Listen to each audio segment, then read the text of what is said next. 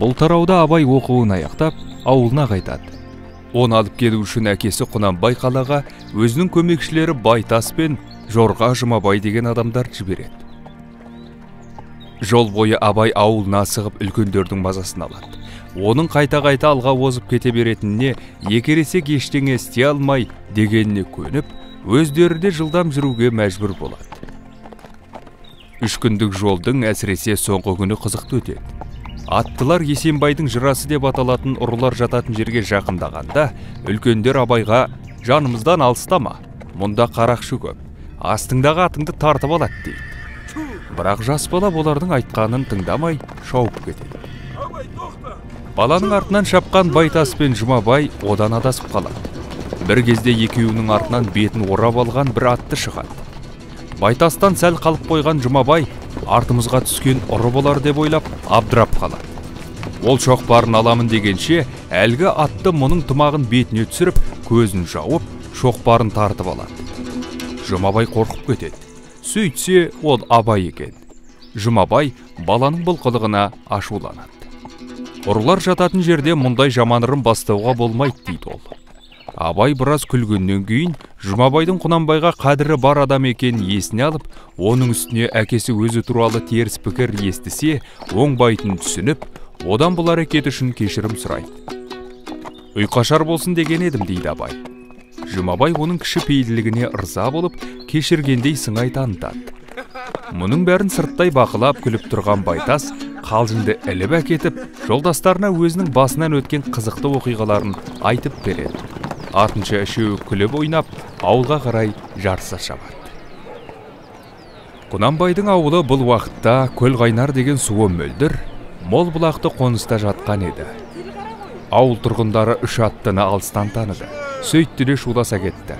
Үй ішінде жүрген абайдың шешесі ұлжан ұлының шамамен осы күні келетінін алдын ала болжаған. Абыр сабырды ести сала ол да төрде отырған енесі зерені хабарландырып сүймелдеп сыртқа шығады. Абай асығып аттан түсіп шешелері тұрған топқа жүре бергенде ұлжан оған анандайдан тұрып балам әуелі ар жағыңда әкең тұр деп әкесіне барып сәлем бергені жөн екенін айтады. Бала жалт қараса қонақ үйдің тұсында аға сұлтан құнанбай оның тоқал шешесінен туған інісі майбасар мен майбасардың атшабары қамысбай тұр екен.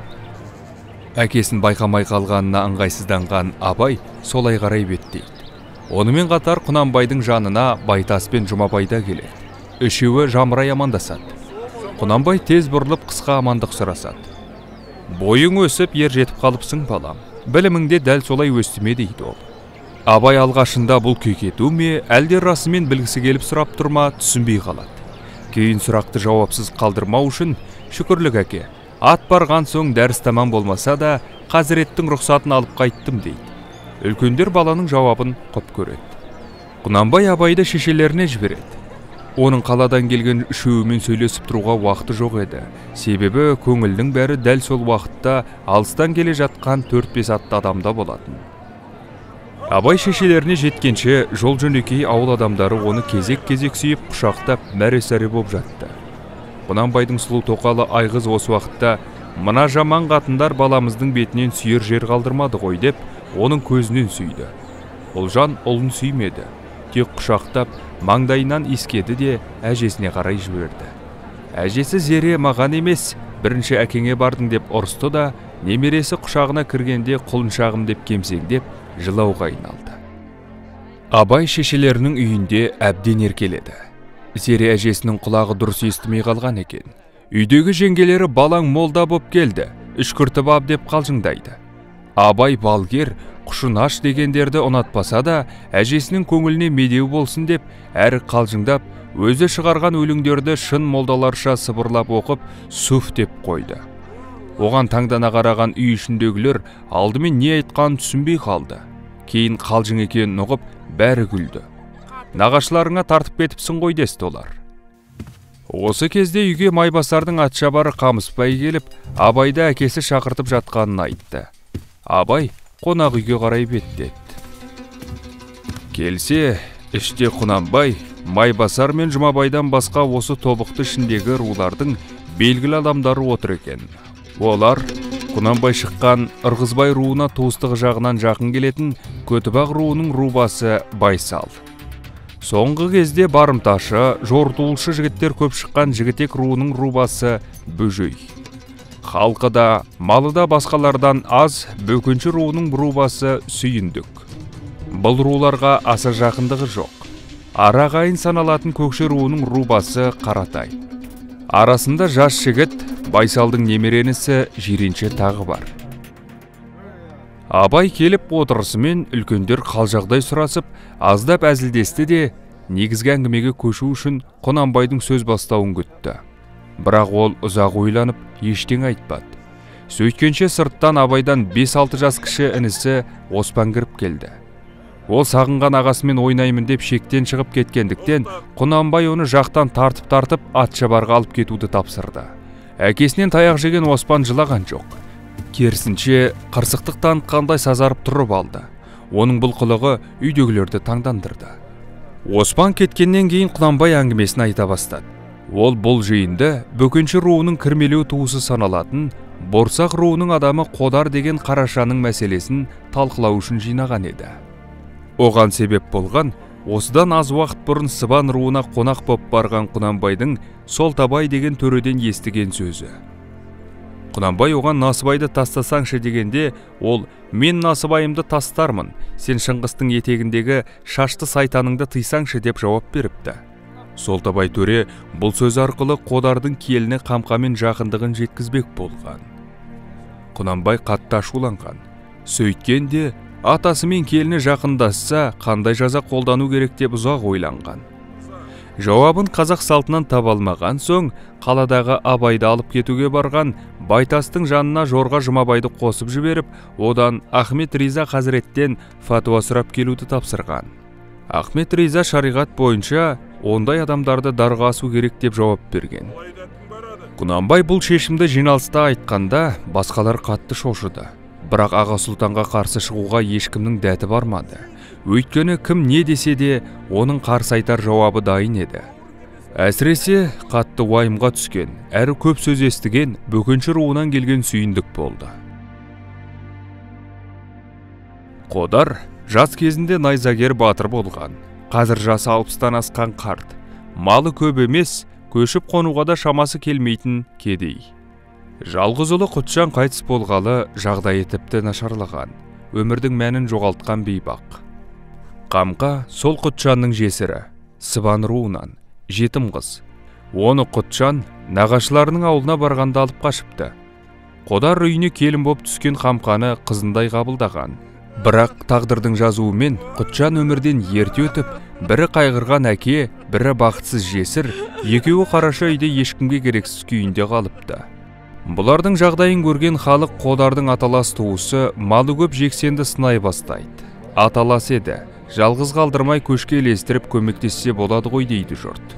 Жексен бұл сөзді көп естіген соң бір жиында сол қодардан шошып қалдым деген сөзбен өзін ақтамақ болады. Кейін сүйіндік мән жайды сұрағанда келінімен жақын екен ол кәпір деп айта салады. Ол өз сөзіне дәлел ретінде құтжан қайтқаннан кейін қодар айтқан.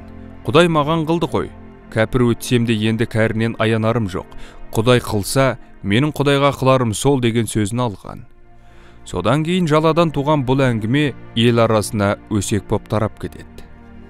Қодар бұл өсекті жанпейіс есімді туысынан естейді бірақ келіні қатты қамығар деп оған ештеңе айтпайды. Кейін сүйіндік қодарға осы мәселенің анық қанығын білу үшін бектен есімді көсені жібереді. Қодар бектенді үйінен қуып шығады. Құнанбай үйінде болған жиыннан кейін рубасылар мен елдің игі жақсылары қарашоқы деген жерге жиналып қодар мен қамқаны сол жерге әкелтеді. Оларды әкелуге бес адам кеткен. Солардың бірі қамысбай бірі жексеннің жетпістеген інісі және борсақ руынан тағы бір жігіт пен бөкеншінің екі жігіті. Қодар жігіттерге кәдімгідей қарсылық танытқан. Бірақ көптің аты көп. Ақыры оны байлап қара шоқыға алып келген. Қамқа діттеген жерге жақындағанда өзіне жабылған жаланы естіп талып қалады. Қодар болса құнанбай бастаған топқа қарап мен көк ит болсам сендер көп итсіңдер ақ қарамды тексермедің бе? Өңкей қан жұтқан қара бет деп айқайлайды бірақ оларға ешкім араша түсе алмайды. Жігіттер сүйреп атасы мен келінін бір атанның екі жағына байлап дарғасады атан қайта шөккеннен кейін қодар әлі де тірі болғандай еді. Оны құнанбай құздың басынан тастауды бұйырады. Кейін жиындағы адамдарға өлікке тас лақтыруды тапсырады. Осы сәтте бұл маңға абай мен жиренше келеді. Олар қарашоқыдағы жиын туралы аңшылықта жүріп аяқ асты естіген. Ести сала осы маңға шауып келген. Мақсаттары құнанбайдан араша сұрап қодар мен қамқаны аман алып қалу болатын. Бірақ үлгермеді. Абай әкесінің қатыгездігін көріп ауылына қарай шауып кетеді. Жол бойы ол ересектердің әрекеті туралы ойланып ұзақ жылайды. Жиренше абайға ілесе шығады. Ауылға жеткенде ұлжан жас баланы үлкендердің жиынына апардың деп жиреншені бір ұрысып алады.